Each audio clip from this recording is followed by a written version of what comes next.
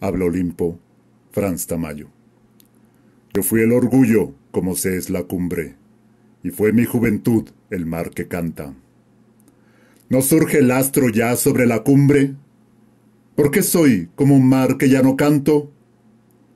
No rías, Mebio, de mirar la cumbre, ni escupas sobre el mar que ya no canta.